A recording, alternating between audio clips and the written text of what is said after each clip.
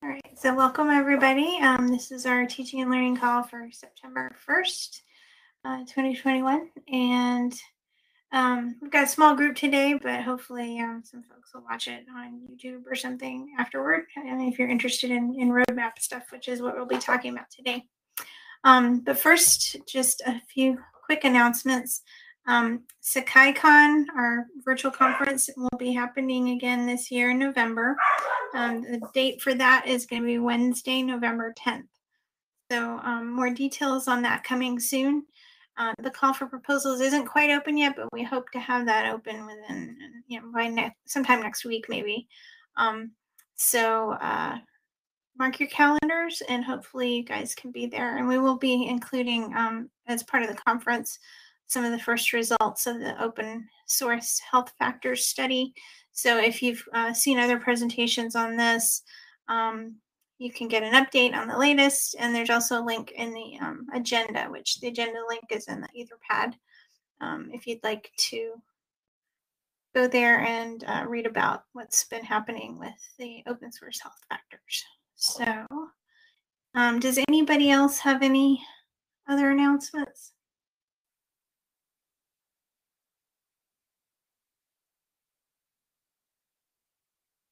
So I am going to actually turn over screen share here and everything to Josh.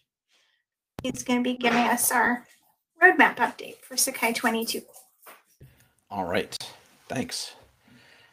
So this will be pretty informal, um, but I thought it would be fun to begin to talk about the roadmap items that have made it into or will very shortly make it into Sakai 22 with the the, the feature freeze date approaching. So as as far as I can tell, the uh, the from the core call yesterday, the there are a few uh, new features that people want to get into Sakai 22. So we're allowing a little bit more time for that. So the the branch cutting is being delayed a little bit toward the end of September. So one of the things that Earle tells me is that uh, there are many many more PRs this year than there have been in any recent years. So that's actually really great news. There's uh, stuff being contributed by uh, Western University in Canada. There is stuff being contributed by the University of Dayton, several different improvements to lessons and other kinds of things.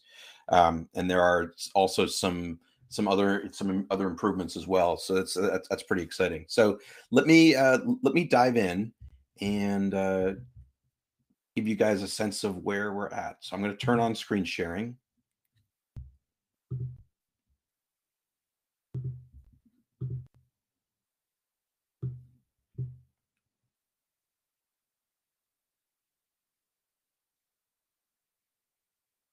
It's turning on. All right, there we go. Um, is it is everyone else seeing these?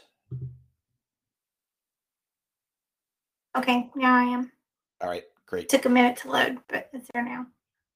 So it's always use it's always useful to talk for a few minutes about why we go through this roadmap exercise. You know, I think we've been telling this why roadmap story for a few years and internalizing it a bit so it it doesn't require quite as much telling as maybe it did a few years ago but we're always trying to promote this vision of sakai as being forward looking energetic and continuously improving and i think that's as important now as it ever has been. We're, we're looking at institutions that are you know after a, a decade or more on sakai are trying to figure out what their future direction is and it's it's important for for sakai to be moving forward energetically and innovatively uh, you know but also projecting that uh, you know that that vision of ourselves as well so that institutions can you know not only know that that's happening but also sense that it's happening too.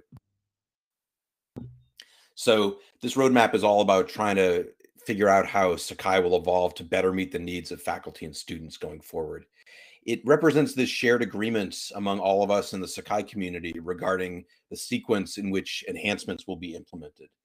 And it allows us to chug away on these enhancements during the the release cycle and not have to spend time trying to figure out what comes next or whether to include something. Those decisions are made up front for the, for the coming year, and then we proceed. And that was we definitely saw that this year. Um, the decisions were made, people knew what they were, and we we move forward as quickly as we could to implement as many of those things as we could. All right, so from a process perspective, this is what the roadmap looked process looks like, and we're about to uh, engage in another one of these collaborative roadmap making efforts uh, this coming this fall and winter. So generally, so this is what it looked like last year, and the year before that was fairly similar. So we can expect something kind of like this in the fall and winter to come. So in Octoberish, uh, there are some conversations that are preliminary in nature. I tend to consult the roadmap steering team. A few of you that are here today are on that team. So there are some conversations internal to Longsight. There are conversations with the roadmap steering team, and all of that produces a version one of the roadmap that is put forth at SakaiCon for initial discussion and comment and review. So there's some iteration uh, based upon those comments. There's usually a second version with, that I take to a bunch of the different working groups in the Sakai community. So this group and accessibility, UX, the core team, uh, you know, other groups if, if they're interested as well. So there's a lot of community input that's gathered in November and December. Then coming out of the holidays in January, there's a, a steering team review of uh, a roadmap steering team review of the comments that have come through, just trying to make sense of you know what people have said and what the priorities seem to be, where there are coalescing areas of, of energy in the community. Then there's yet another iteration of the roadmap and that iteration tends to be brought to Sakai Camp or Sakai Days in January, February, whenever those tend to be. So uh, the the timing for that has varied from you know, but it's but it's always in the first quarter of the year. So so that's where at Sakai Days we have a final conversation about the roadmap, and that's where adoption takes place, and then implementation follows. So the the trick is to get ourselves all set up with the roadmap so that we have plenty of input uh, people feel like they've been consulted multiple times so that the the conversation at sakai days is a closing conversation instead of uh, you know an, an opening conversation or you know one where you know there are potentially major revisions to the roadmap that are brought forward. So that's what that process looks like and you can expect something fairly similar this year that's worked pretty well for us. So let's take a look at what the roadmap might might contain for 2022 to 2024. So um, I'll note that this is the feature version of the roadmap. So the roadmap this year was split into two different areas. There is a feature roadmap and a technical roadmap. So the link that you see on this slide, and I'll put that link in the chat as well. Um, maybe I'll put it in the chat. I will put it in the chat in, in a few minutes. Um, so this is this is the link to the roadmap page in Confluence that contains this feature roadmap plus the Google document that contains the entirety of the roadmap.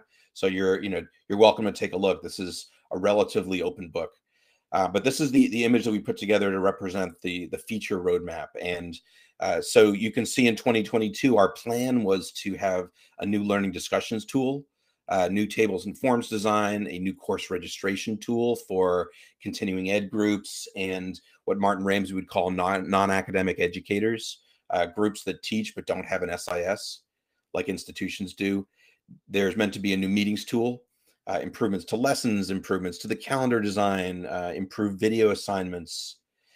Uh, so that was all planned for 2022, and there were a bunch of other things planned for 2023 and beyond. So I thought it'd be useful to circle back to you guys first and to other groups a little bit later on to give you a sense of what we think is actually going to get into Sakai 22. So of these items that we laid out for ourselves in the roadmap, how are we doing? So here's here's that progress update. And we actually have done quite well. And there are several things that are coming from Western and Dayton that actually aren't on this list at all. And I can I can dig out the uh, the Dayton email and give you guys an update on that if you'd like as well. Um, but from from my perspective, uh, you know, looking at roadmap items on the feature side, here's what's coming. So the conversations tool that Longsight and Duke worked on is uh, will be in Sakai 22. So it's taking the form in its initial iteration of a question and answer tool. So that's an expansion of functionality. Uh, eventually, conversations, uh, hopefully before Sakai 23, will add support for threaded discussions and grading. So the the long term plan is to have conversations uh, replace the existing forums tool that has lots of JIRAs attached to it for improvements, and people have wanted to make improvements and conduct modernizations. So over time, we're hoping that the conversation tool will serve that purpose and replace forums.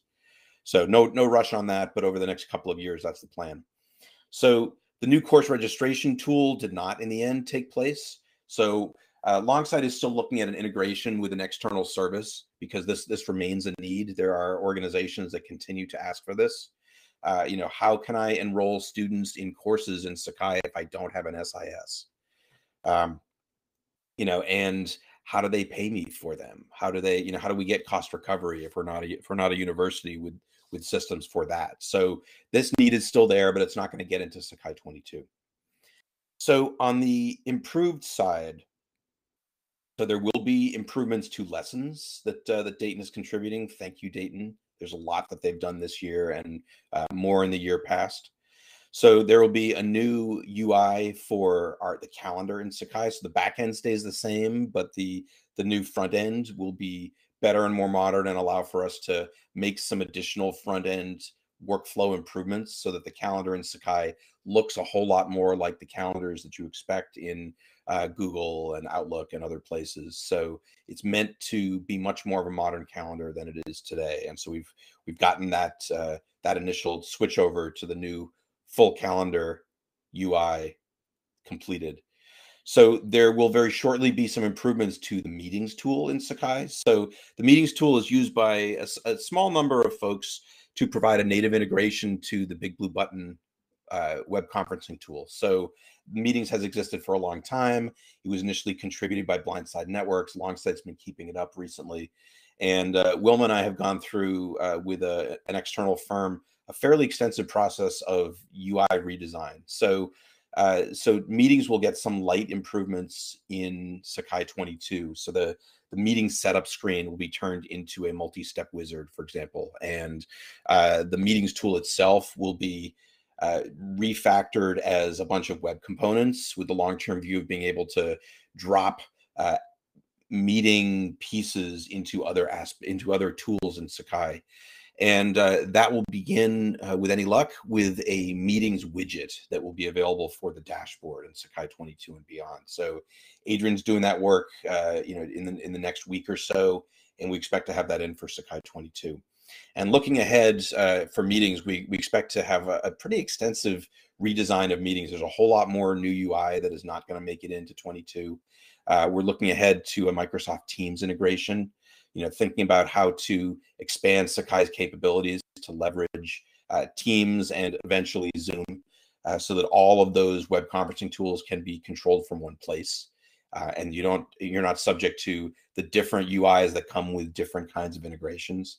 Teams itself doesn't yet have an integration with Sakai. Uh, as I understand it, it doesn't have an LTI integration, or if it has one, it's very, very new. So, so that's going to be an expansion of capabilities that will come in the future, not yet.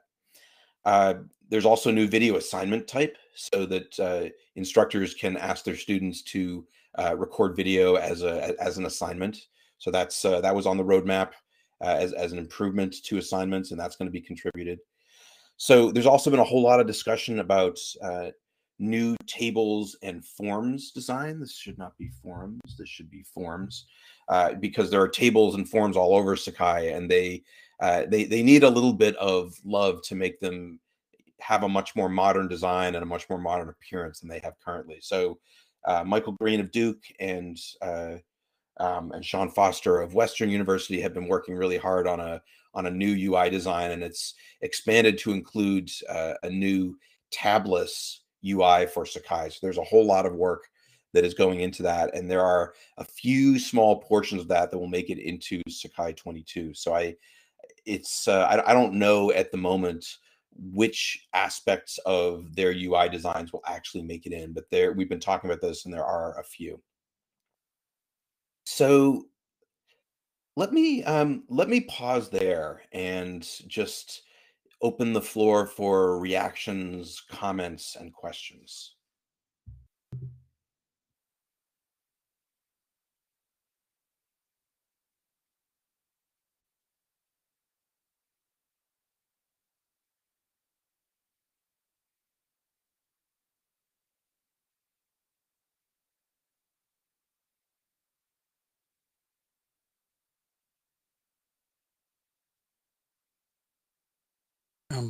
Looks good.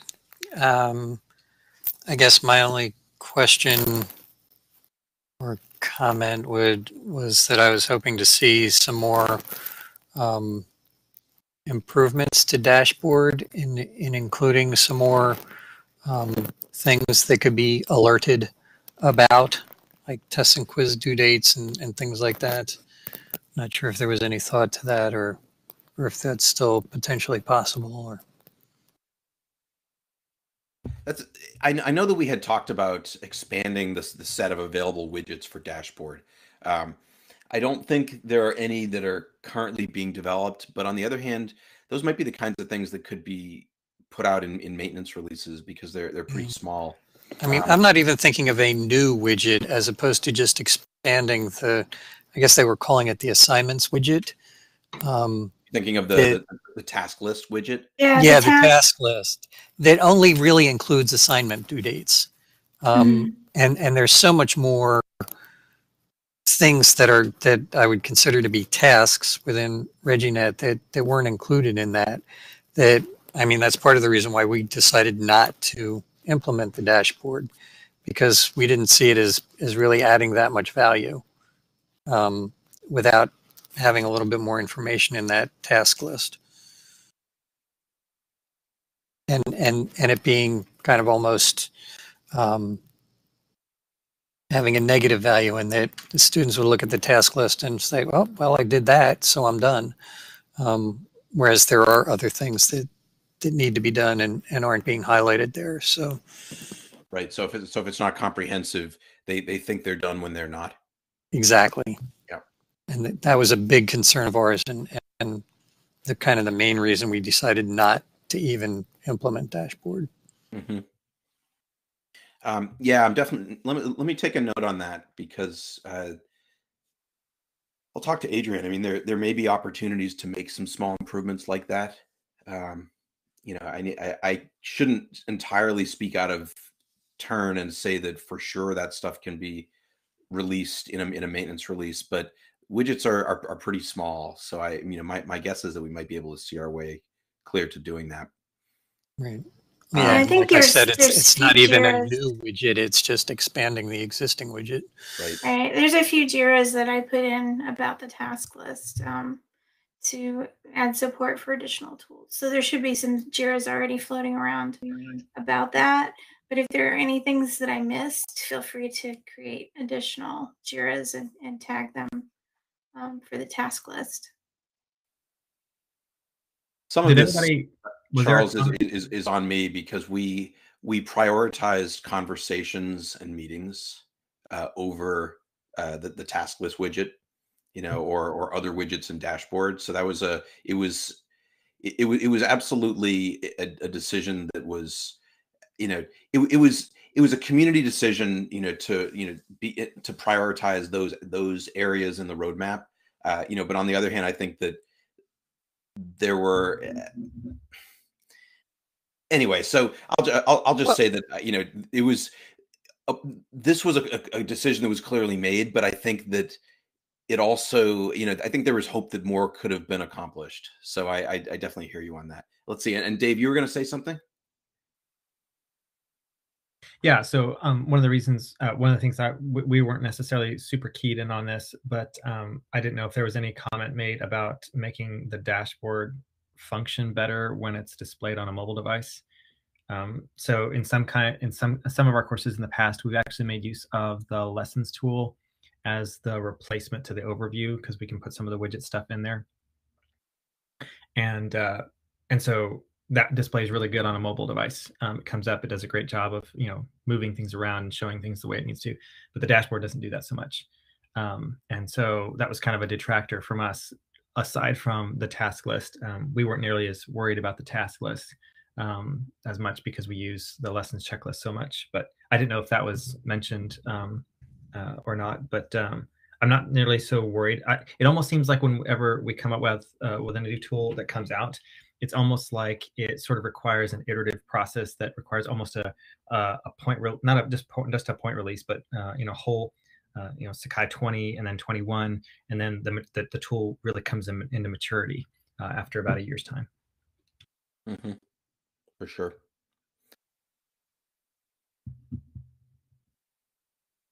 So I've I've got a couple of notes here. So and and Wilma's got the uh, the roll up Jira for uh, for for dashboard. I, is there is there a for Jira for tasks. That's, that's for tasks widget in the dashboard. does it include a task for uh, more mobile friendliness? No, this one was specifically about adding other types of events to the task widget. So adding things. Wilma, should I create a very I don't. I don't. Yeah. I, I don't think there's one about mobile. So yes, I would go ahead and create one. I can do that. Wilma, do you, do you remember when the when Bridget did the UI work? Were there mobile designs that were created for dashboard? I thought we had some mobile screens. I can't remember if they were of the dashboard or if she had like the course home, but I I would kind of want to say yes, but I'd have to go back and look. Maybe it's something I just haven't seen yet um, in our own own or in our own instance or something. Um, Eh, I can I- check the nightly. I, I I bet it's it's I, I would think it's more likely that we we ran out of time for that piece of development, but uh, you know, it's it, so anyway. I've I've taken a note, and we'll, we'll, we should definitely look into that because we we talk a lot about Sakai's responsive design and its mobile friendliness and the ability to you know to make use of it on on mobile devices and tablets, and we need to be walking the talk.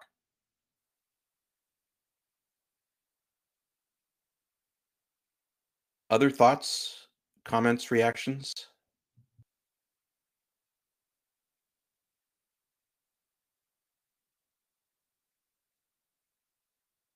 Does it seem like it's a lot more work than what it was last year at this time, in terms of the outlay and, and the uh, the goal setting? Um, well, I mean the the goal setting work hasn't really begun this year, and it hadn't really begun at this point last year. So Right. it really is, uh, you know, it's it's a post semester start kind of thing. So in the first half of October is when it tends to begin. So I I, I can't really say that it's it's more or less work. I mean, I, I do think that you know more development was contributed this year. You know, so it, in terms of uh, you know actual development hours, more more time was spent. But that that may not have been the question that you were asking, Dave.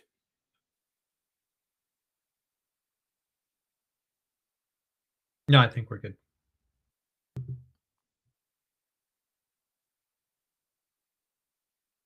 So I should probably share one other thing, um, which is the the list of items that have been contributed from Dayton, which is kind of cool.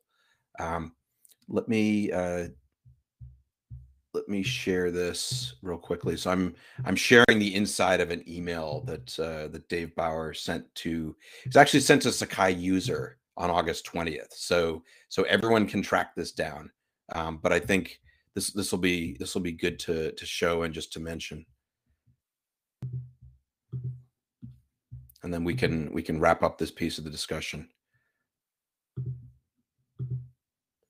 So you can you can find this yourself in the in the Sakai users Google group dated August 20th, an email from David Bauer. But uh, here's what's here's what Dayton is contributing for Sakai 22. So uh, the first two items are improvements to the Commons tool. Uh, the third one is an improvement to rubrics that uh, that makes sharing rubrics more clear, as is the, f- the fourth one also, is, which is about uh, aggregate rubrics. And the fifth improvement that they're contributing is uh, new page layouts in lessons. So it's uh, you know these these layouts will install a, a full page of template content so that instructors can get started. So they're providing three layouts, and there can be there can be more created. So they've done they've done a lot of work. You know the the uh, the, the line item in the update slide I showed previously was lessons improvements, but they've done a whole lot more than just that. So kudos to to Dayton. I don't have the full list of improvements from from Western. So one of the things we need to do is to pull all those pieces together so that we can start telling the story from a from a, a, a marketing perspective within the community, promoting the work that's been done, and uh, a marketing perspective outside the community, talking to potential adopters or to institutions that are considering whether or not to adopt a different LMS going forward. There may also be some improvements in LTI, but we're not sure exactly how many of them are going to get into 22.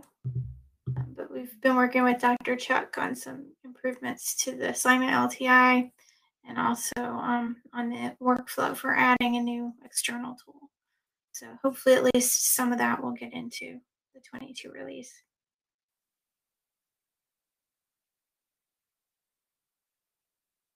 So that's what I've got. So uh, we can continue this conversation in a more informal way, Wilma, or we can switch to JIRAs, whatever you and Charles would prefer.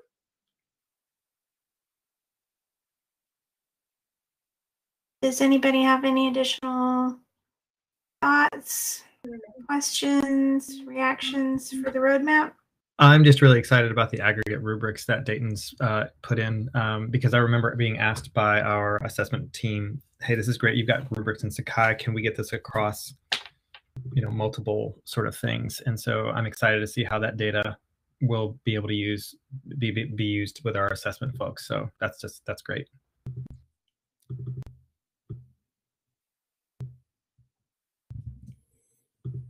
All right, I will paste the link to the, roadmap page in Confluence into the chat. Um, you're gonna have, you'll, you'll have to do some pasting yourself because it looks like the link is broken. Let me see. If, I'll, I'll see if I can do better than that while we're moving on to the next conversation.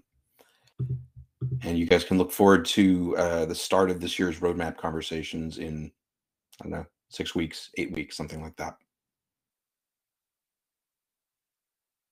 So thanks for thanks for taking some time on this this morning. Thanks, Josh, for updating us on the roadmap work, and um, it'll it'll be pretty exciting when we start to see some of these things um, appear, and you can actually see how it works in the in the actual software. So, exciting. Um, and, and more to come. A lot of these projects are just sort of the beginning of a larger change like with the meeting stuff and um, things like that. It's the conversations. So it's kind of the tip of the iceberg, but there's a lot more um, new stuff to come shortly thereafter. So we can look forward to lots of improvements across several tools. Hey, Wilma, can I ask a quick question that kind of follows up on something? Um, mm-hmm. I don't remember that it was mentioned about the gradebook service or the grade grading service. Um, mm-hmm. I'm, I'm assuming that's still further down the roadmap not that I'm anxious about it. I just remember there was quite a substantial amount of yeah. talk. of course, that that's a that's a huge piece. Except that that's a huge piece that has its fingers in a lot of things, so it may take uh, quite a little bit of time to matriculate. Yeah, that was one that um, it's still on the roadmap. We are still working on it, but it is kind of um, a big item, especially because it deals with grades. So we want to make sure that we test it thoroughly and everything. So it's been delayed a little bit um, but it is still in the works. You know, and I, th- I, think it's worth noting. I mean, this it is absolutely on Earle's list. The grading service was uh, was top of the list on the the application side of the technical roadmap. Um, here, let's let's take a very quick peek at that since you've since you brought it up. So we didn't get as much done on that side as we might have wanted to. So here's the here's the Google Doc. This is linked from the Confluence page, and I can put the the link in the chat as well. So the feature roadmaps that we talked about before, the technical roadmap, we didn't really talk about all that much in this context. Um, so this was a, uh, a set of items to be approached in priority order. So there really wasn't a lot done on the application side for 22. On the infrastructure side, um, Java 11 and Elasticsearch 8 support will be in, in Sakai 22. Caching improvements will be in there. There are a bunch of JSF tools that have been upgraded to JSF2 by EDF. Um, and I don't remember whether the MySQL 8 support made it in. Um, the other thing that's that's going to make it in that we haven't really talked about much yet is something that is on the ongoing investment side of the feature roadmap. So uh, there will be uh, a workflow improvements to tests and quizzes. So this is this, is put together by uh, the UX team with Tiffany Stull and John Buckingham leading the charge. So that's that's going to be in in Sakai 22 as well. And Earle is working on better support for IMS standards across Sakai. So that'll mean better support for Common Cartridge, better support for QTI2. So that's uh, that, that's that's coming as well in Sakai 22.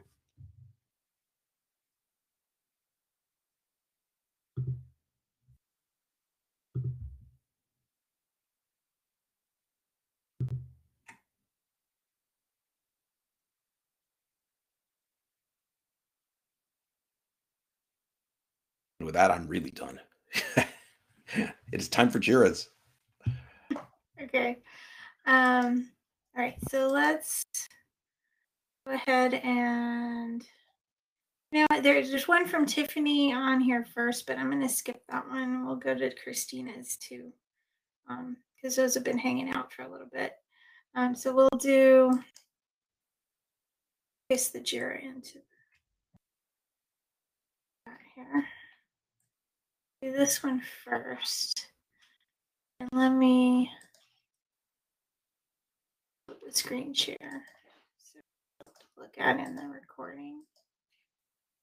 Um, this one I think we've talked about before at T&L, but it got um, kind of kicked back again for more information.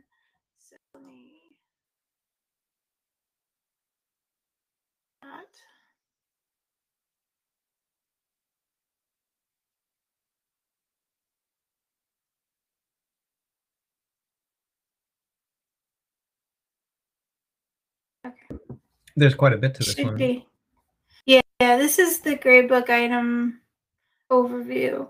Um, so the desire was to have a page where people could kind of see um, the current gradebook setup, like where you would see all of the different items and how many points they're worth and any categories or settings that, that were appropriate to each item um, so that you could see it kind of all at a glance. Right now, um, it's hard to get that kind of aggregate info. You can look at the details for each column and you can kind of see which categories they're in and things like that. But um, it's a little bit harder to get kind of that big picture view. Um, so there were a few different options proposed, and you'll see there's a bunch of attachments here. Um,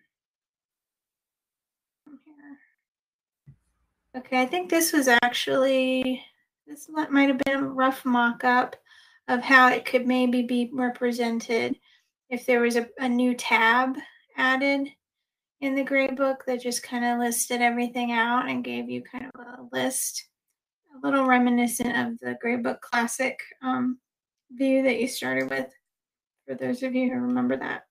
I know there are some times when I'll just go through and select a student and just mm-hmm. pull up mm-hmm. a student so I can see that kind of information, but it's obviously not yeah. comprehensive.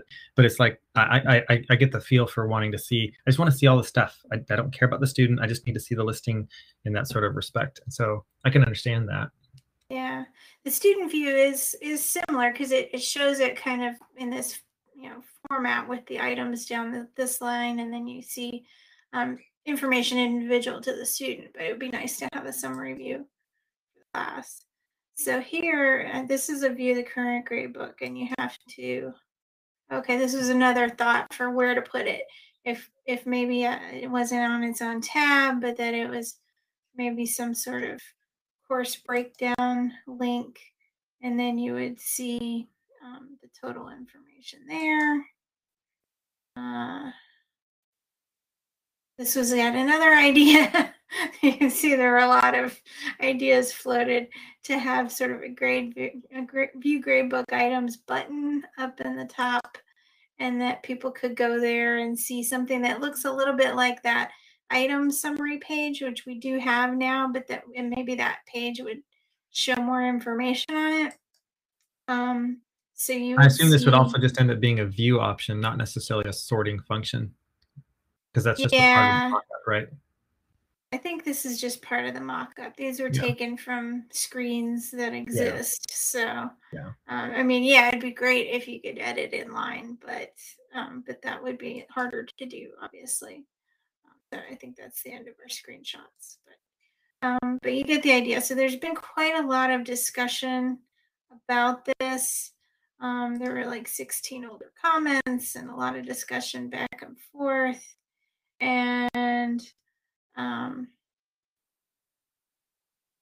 I'm just curious if you guys have any thoughts on what's the best way um, to do this. It looks like the last couple.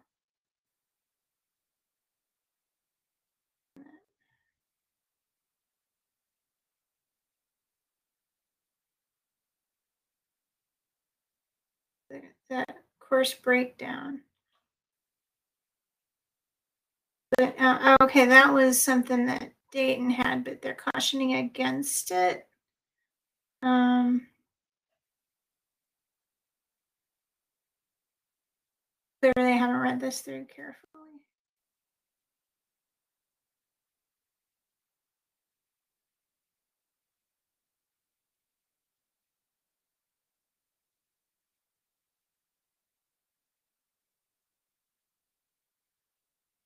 All right. So anyway, so do you guys have thoughts on how you would like it to to appear?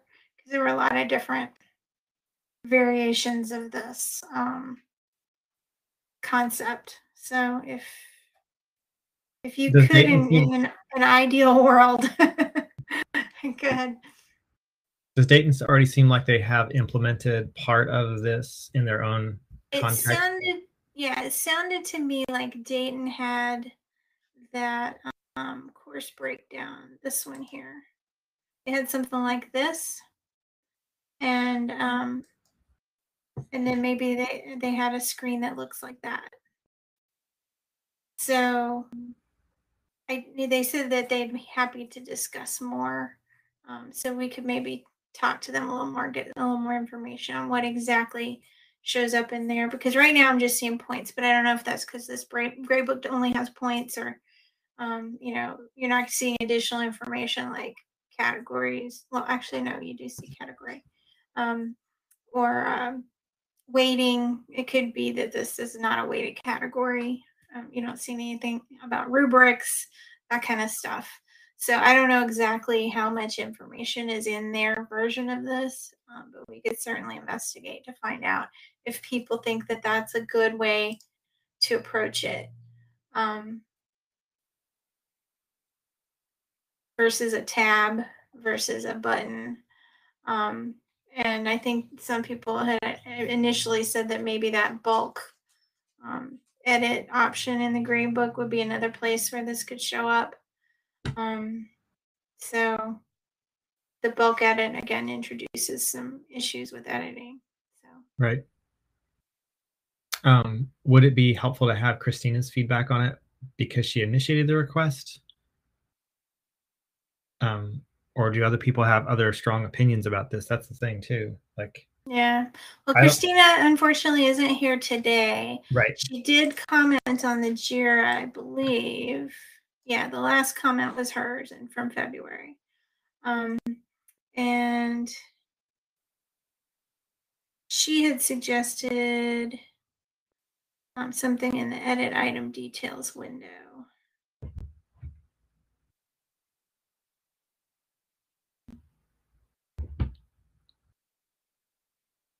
so I mean, we could ask her for more info. Um, this was something that she wanted actually to get um, Longsight to estimate, and and we told her that we needed more information before we estimated it because we're not quite sure what the best way of handling this is. Right. So we need a little more clarity around what people would want. Um, so mm-hmm. yes, we will certainly go back to Christina, but I'm I'm interested if, if any of the folks on today's call have thoughts um, on how they would like it to show up. Like I said, I only have done the same thing where I've I've just gone through and selected a student to see that sort of data, although all of that is not there explicitly in the same way. Um, but I'm also reading in the comments how, of course, you know, faculty hate having to click multiple times to get into things, and so saving them time to get into things is helpful. Um, there's something to be said about adding functionality without increasing the complexity Mm-hmm. And that's really hard to do, especially when you're working not just with functionality, but also the user interface and where where the tendency would be for faculty to go to find that thing. Um, uh, I still make video content th- today that uh, of feature sets that came feature functions that came out two it two iterations ago, and my faculty are like, "Oh, that's brand new to me," and I'm like, "Oh, it is." okay. Yeah, they just didn't find it yet. Yes, because we've been hiding it for two years.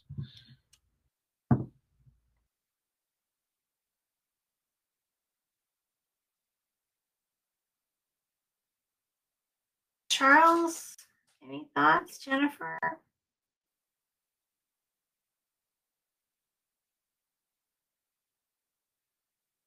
Well, that's certainly something we've been looking for. Um, I'm not sure.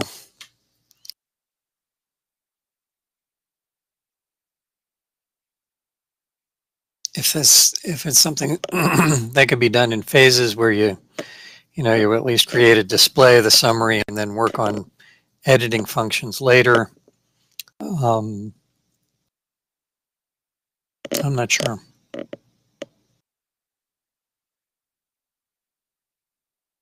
I think I'd rather see it as a a button or a tab rather than a drop down item, but Yeah, I think it would be easier to discover the functionality if, if it were presented as a button or a tab. Might not click to find out what things they can do, but if they see it, then Yeah, that's that's a good point because the UX would actually surface it quite a bit differently. Mhm. um, as opposed to the way uh, Dayton has surfaced it. Although they may also have their faculty well trained to use that context sensitive menu functionality, because other things have gotten built into that gradebook functionality over the past year and a half. All right, so I pulled up Gradebook just for us to take a look. Um, this is on Nightly.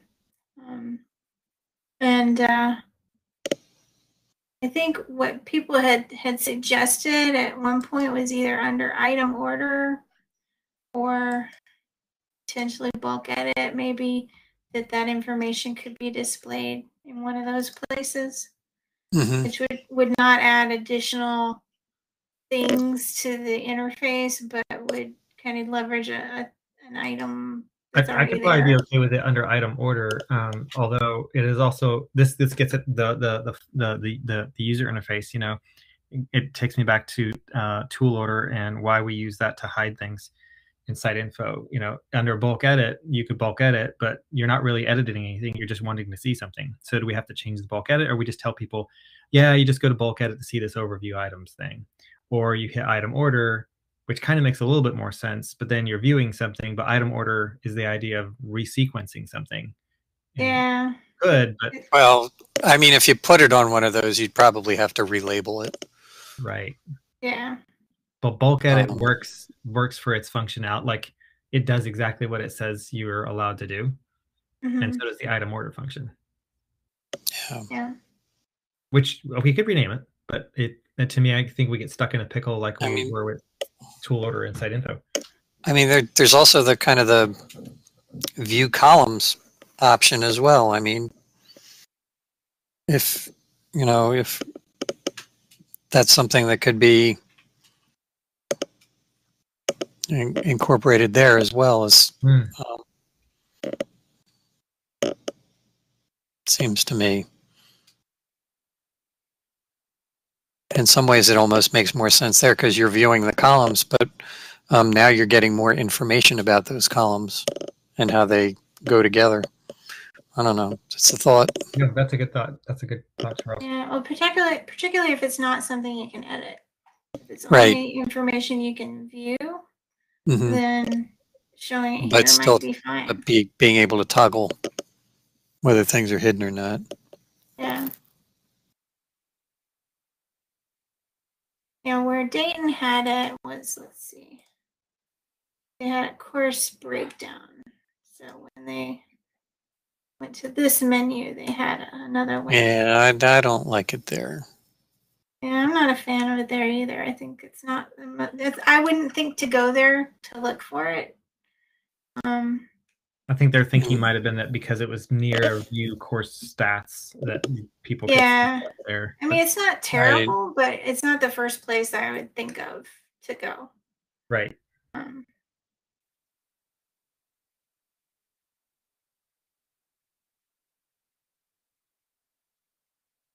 Which is why I can understand people suggesting another button or tab. yeah.